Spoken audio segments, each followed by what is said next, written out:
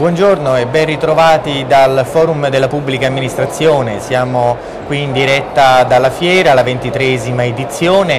Ho il piacere di presentarvi il dottor Antonio Giordano, che è eh, direttore generale dell'azienda ospedaliera dei Colli di Napoli. Buongiorno e ben trovato direttore. Buongiorno. Eh, la, la sua azienda raccoglie tre amministrazioni diverse, tre ospedali. Perché questa esigenza di unificarli?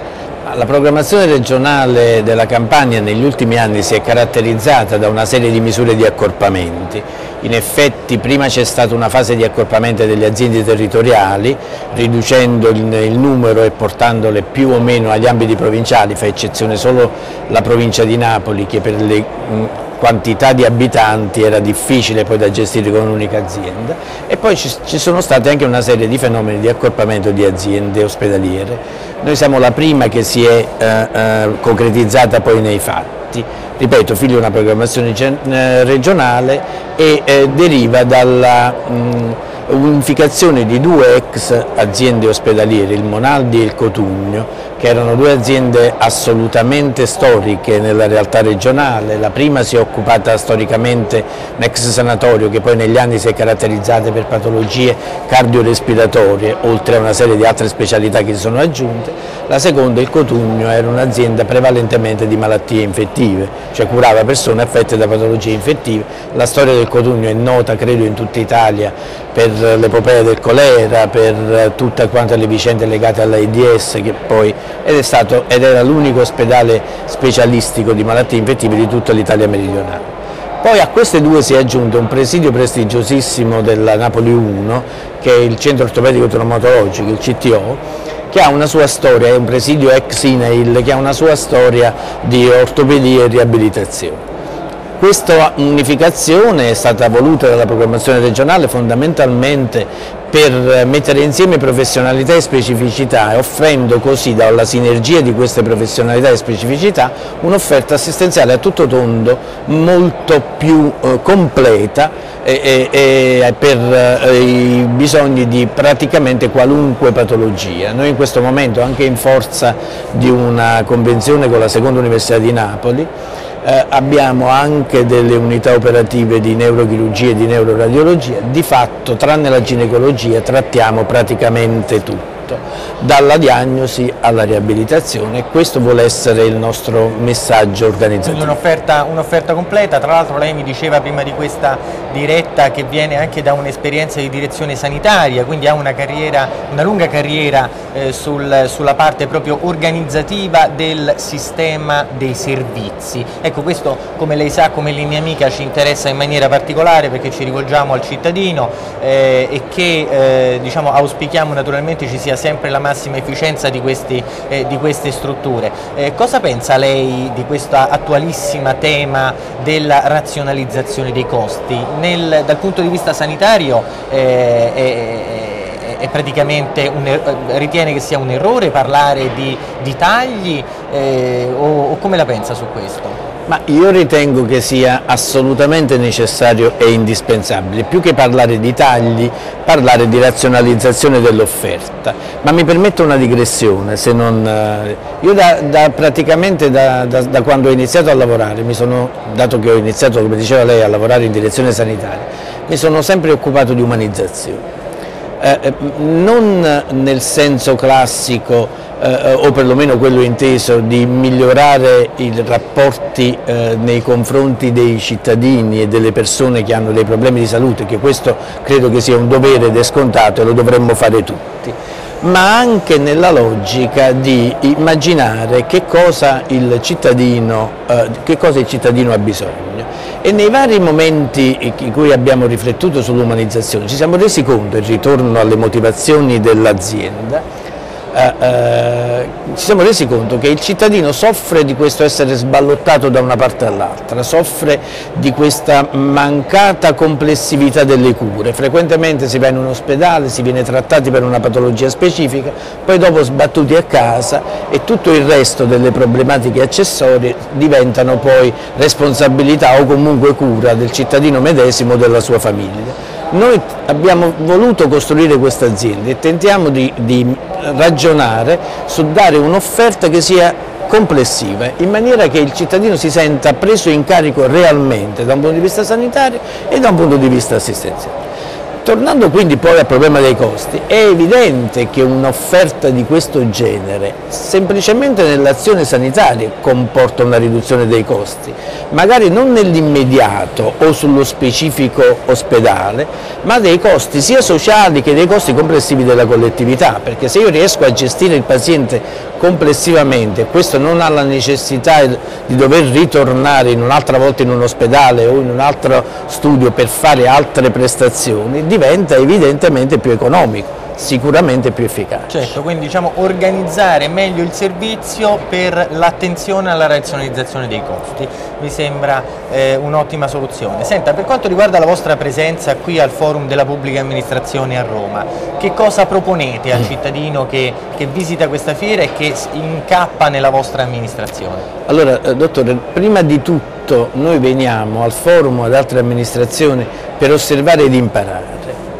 perché riteniamo che sia assolutamente necessario avere l'umiltà di immaginare che esistono realtà migliori della tua e che tu sei eh, dal confronto con altri puoi verificare il tuo livello di servizi e puoi verificare, eh, apprendere, vedere cose nuove e magari tentare di implementarle nella tua attività. Quindi io credo che la prima, eh, eh l'ascolto, l'umiltà, la visione. Poi molto modestamente abbiamo pensato di portare qui delle nostre esperienze, abbiamo fatto da poco un portale nuovo, interessante secondo me, facile da usare, che prevederà anche il pagamento online e quindi l'abbiamo messo a disposizione di tutti, accettiamo le critiche di tutti, anzi i consigli migliorativi.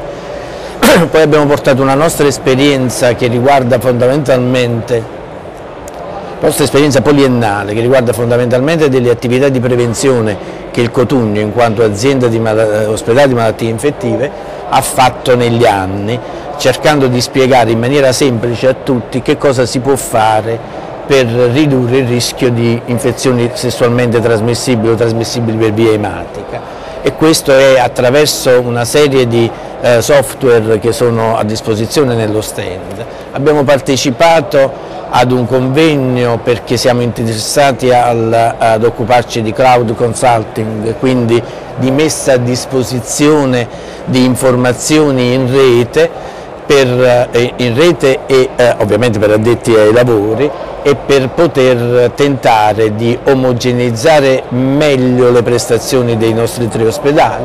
Quindi insomma voglio ehm, eh, è, è varia l'offerta, ma ribadisco, siamo qui anche per vedere, per osservare, per imparare e per sperare che poi eh, eh, questo possa diventare eh, un know-how acquisito da parte dei ecco, nostri questo lo trovo estremamente interessante anche perché l'attenzione per le nuove tecnologie, soprattutto per chi come lei ha un ruolo di direzione generale, quindi direi di, di, di governo complessivo di tutta la macchina eh, dell'amministrazione è, è, essenziale.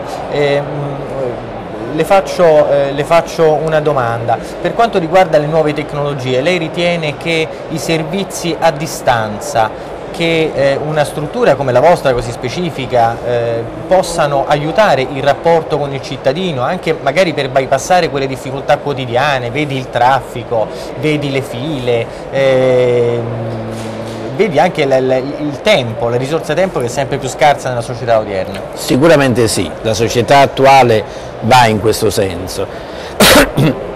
Dobbiamo tentare di creare condizioni per cui il cittadino abbia il meno disagio possibile ed è esattamente in linea con le cose che dice lei, ma c'è di più, questo non aiuta solo il cittadino, aiuta anche gli operatori che riescono a lavorare in maniera meno pressata da esigenze quotidiane, da folle quotidiane e quindi di conseguenza offrire un servizio uh, migliore. Ma eh, vorrei però um, precisare un aspetto, io credo che tutti gli strumenti tecnici aiutino, noi non dobbiamo però innamorarci dello strumento pensando che nello strumento troviamo la soluzione ai nostri problemi.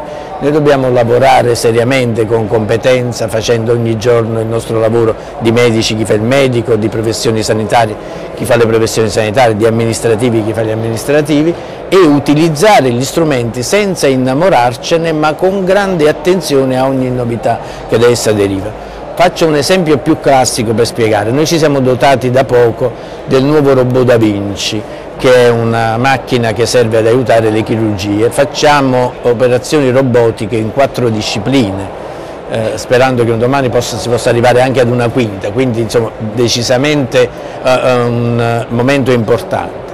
Però non è il robot che risolve la pratica chirurgica, chirurgica, è l'abilità del chirurgo che attraverso il robot riesce a migliorare le sue prestazioni. Quindi la macchina è un mezzo, i, i mezzi sono tutti interessanti, ma dobbiamo fare attenzione a non individuarli come la risoluzione dei problemi, altrimenti corriamo il rischio di attenderci dal mezzo più di quello che il mezzo può dare. Senz'altro, c'è un cliché purtroppo eh, troppo diffuso in Italia, quello della mala sanità eh, come dicono eh, gli esperti del settore, eh, un caso di mala sanità fa più eco di mille casi di buona sanità.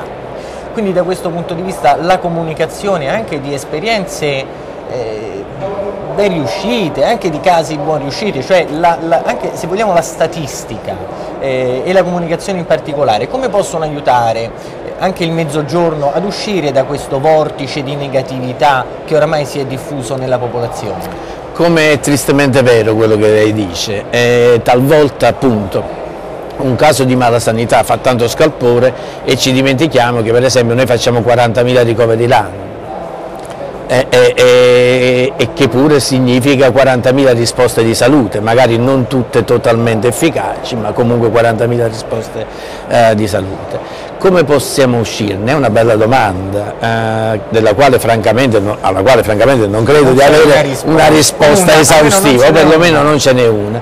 La mia sensazione è che bisogna riflettere sulle condizioni che determinano la mala sanità una di queste è l'aumento della vita media, le sembrerà assurdo, però l'aumento della vita media determina una ripetizione delle eh, una ripetizione delle, eh, ehm, degli accessi in ospedale e ovviamente ogni accesso è sempre fatto con qualche anno in più e con qualche acciacco in più e talvolta gli ospedali non sono costruiti per immaginare risposte a persone anziane con patologie croniche. Certo. Dovremmo tentare di riflettere un po' meglio sulla progettazione ospedaliera e sui percorsi. Ecco, ma è vero che al sud eh, il, diciamo così, la dinamica della...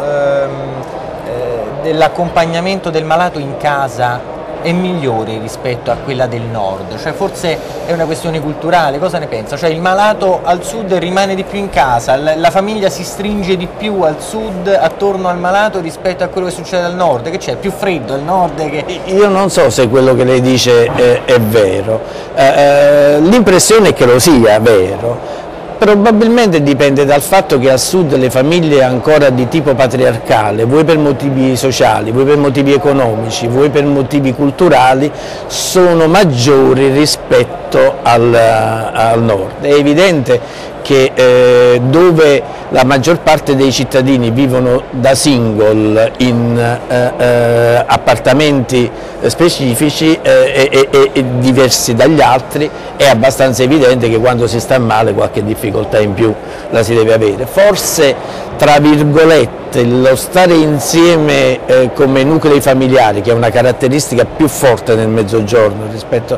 ad altre regioni d'Italia, anche se io ritengo che anche in tante altre regioni d'Italia ci siano queste caratteristiche, non è mica vero che il luogo comune certo. debba essere, certo. però questa cosa dove c'è certamente aiuta.